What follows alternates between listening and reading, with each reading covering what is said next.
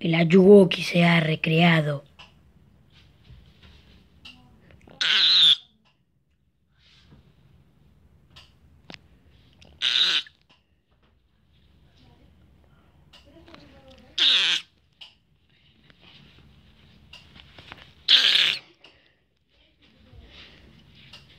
Oh my god!